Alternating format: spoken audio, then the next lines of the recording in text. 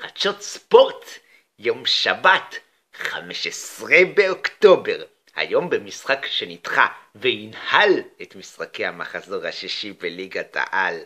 הפועל באר שבע מול מכבי פתח תקווה בבאר שבע, שעה שבע וחצי בערב. שידור ספורט אחד. ואלה הם כל התוצאות שהפועל באר שבע עשתה עד היום, עד המחזור השישי. בליגת העל, בליגת העל. הפועל באר שבע ניצחה במחזור הראשון 2-1 את הפועל רעננה. במחזור השני הפועל באר שבע נפרדה במשחק החוץ מול הפועל תל אביב בשוויון 0-0.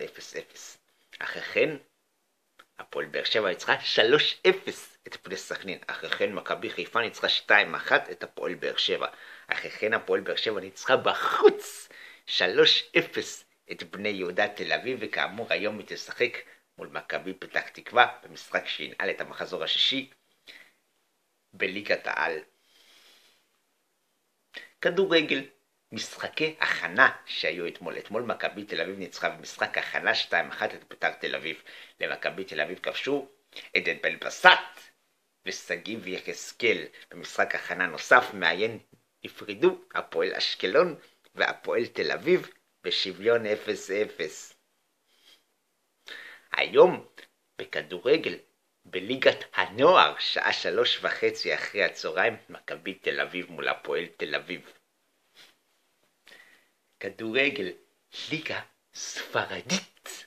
היום בליגה הספרדית בשעה חמש ורבע אחרי הצהריים, ברצלונה מול הקורוניה. בשעה שבע וחצי בערב, שידור בערוץ 1, השידורים מהליגה הספרדית הם בערוץ 1.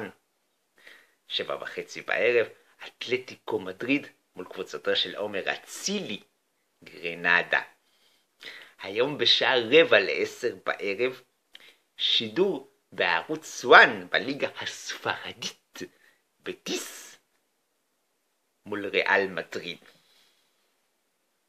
כדורסל ביום חמישי נהריה העפילה לשלב הבא בגביע המדינה בכדורסל אחרי שניצחה בחוץ 162 162 את עירוני רמת גן.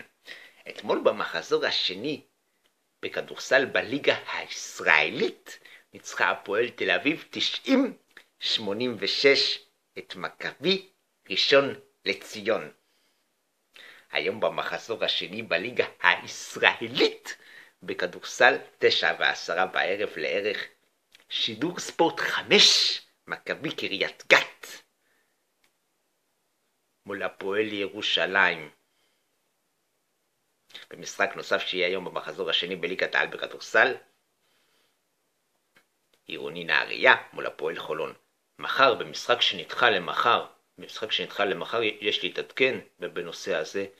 בני הרצליה מול מכבי חיפה. כאמור, יש להתעדכן בנושא הזה במחזור השני מחר, בני הרצליה מול מכבי חיפה. משחק שנדחה למחר יום ראשון. למחר יום ראשון. ביום שני יימשכו משחקי המחזור השני בליגת העל בכדורסל, כאשר גלבוע גליל תשחק מול מכבי אשדוד, ומכבי תל אביב תשחק מול הפועל אילת. כאן חדשות ספורט להתראות.